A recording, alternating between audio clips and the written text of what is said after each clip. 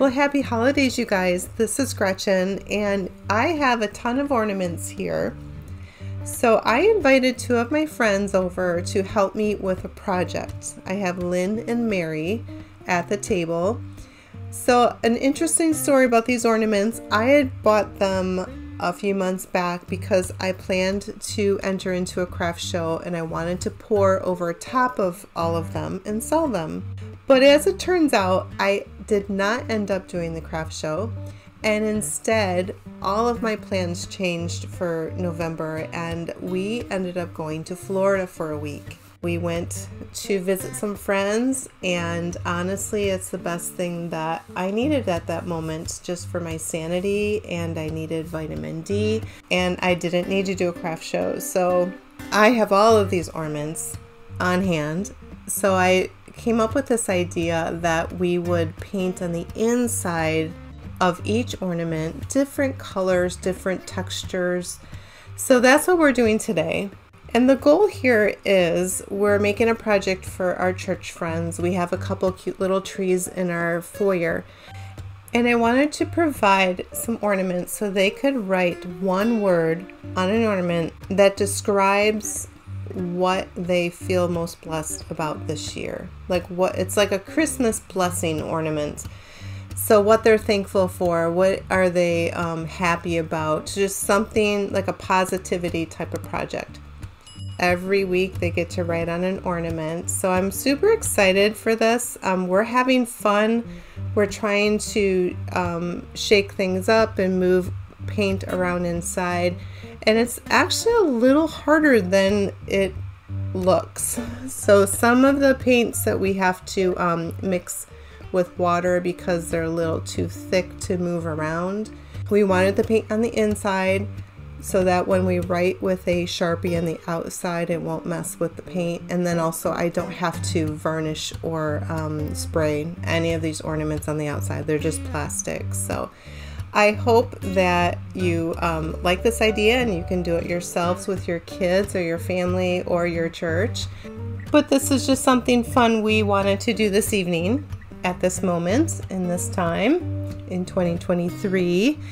So we are enjoying the process. We do keep dropping things. Um, I have these wire racks here that are holding the bulbs so that they're upside down and the paint can drain out of them because there is a lot of paint inside each one so it can coat the whole inside hopefully.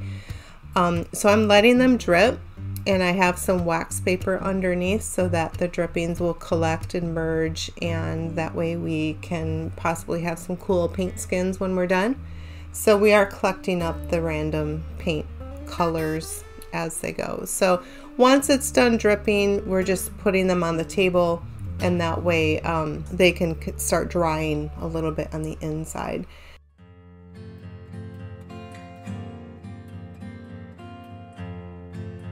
So I just got these from a cheap old store. If you're in America, Dollar Tree. And um, I just figured, why not? A funny story is I was at the Dollar Tree and I bought these and I bought some vases and glass things and I just bought a lot of stuff. And I get a text from my husband when I was at the checkout and he's like, What did you buy for $95 at the Dollar Tree? he's like, I don't understand. You're at the Dollar Tree. How do you spend that kind of money? Well, here it is. This isn't all of it, but this is some of it. So we kind of got to laugh about that because he's like, I don't get it. Oh, men. They don't understand our crafting needs. Well, maybe some men do, but you know, men who don't do crafts don't get it. So if you can stick around, I know it looks like a long video, but I do have um, the results of what they look like. I show you the drying process and I also show how they look when they're on the tree at the end and a few um, of our special friends who are writing on them. So have a wonderful couple minutes. I will jump on back here in a second just to um, explain a few things later in the video.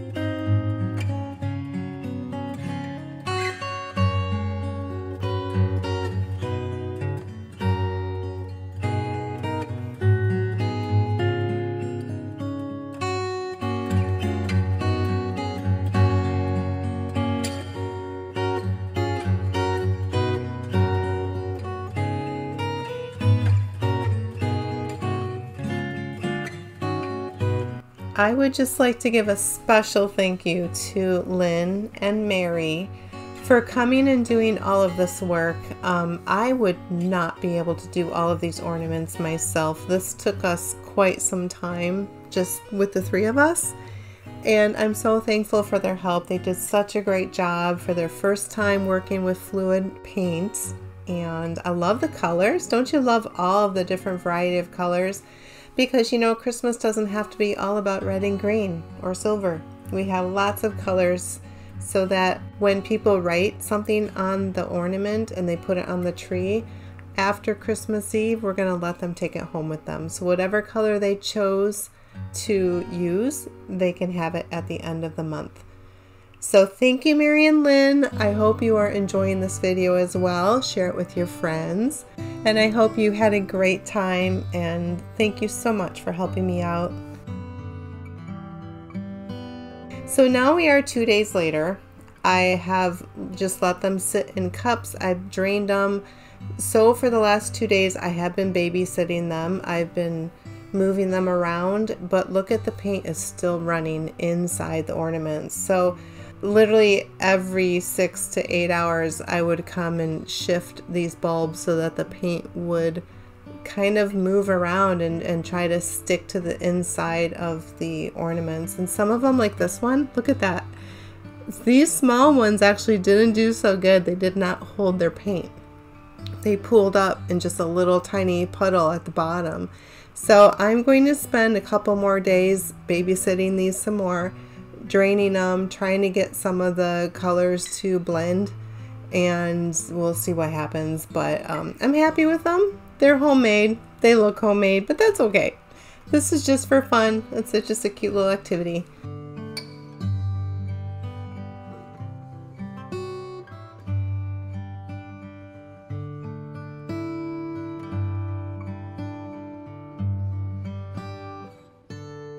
And in the meantime, I'm just going to work on these bulbs, make sure that they don't have too much excess paint, and continue showing you all the fun colors. I love the green one.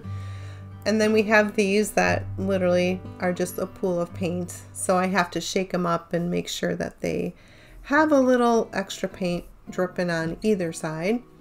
Um, there are some that did crack and I think my solution for the cracked ones is to add a little more paint inside maybe gold or something that will fill in the cracked areas but that's just going to happen. These little bulbs were having some struggles and they're just going to be what they are so I'm just going to keep draining them here and get some colors combined on this um, sheet where I'm going to collect the skins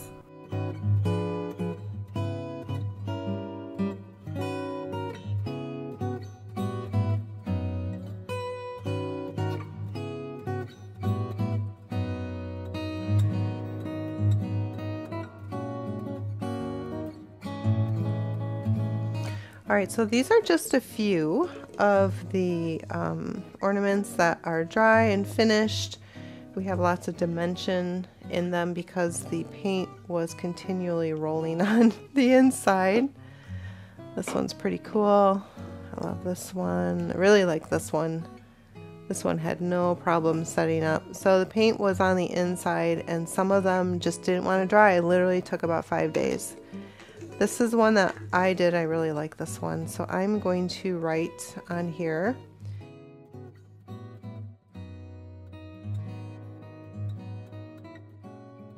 So my ornament says that I am thankful this Christmas for true friendships. And the reason I say that is I am old enough to know that friendship is very dear when it's real there are a lot of people out there who say they're your friends, but honestly, they're really not your friends. Um, so be a friend, be nice, be kind, don't gossip, and always be true to the people you love. So our goal here, I, we have many more than what's here, but um, our goal is for people to write what they are thankful for that's why we put the paint on the inside and um, typically you would pour on the outside of a ornament but we did on the inside so they could write on here and we have lots of cool colors Um, so I'm pretty happy with this little project we had. This one has some sparkle on the inside. We even have cute little uh, gingerbread men. So I'm going to put the tops on these and then once we have them all filled out, I will bring a camera in and show you how it looks. The final end result.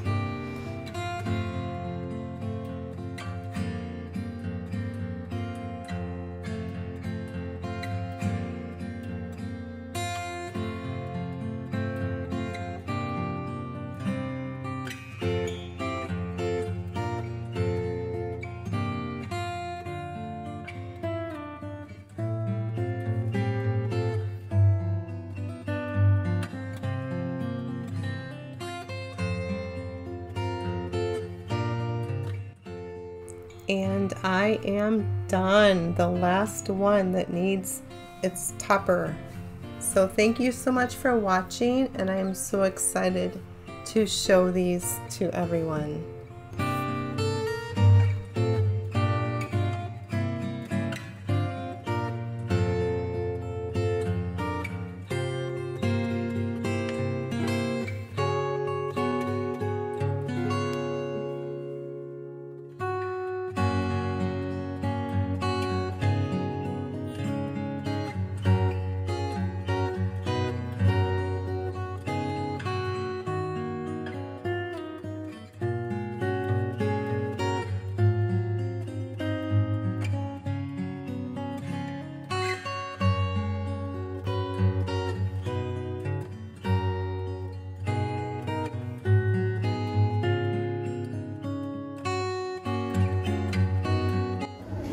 You write her message on the ball? Yes.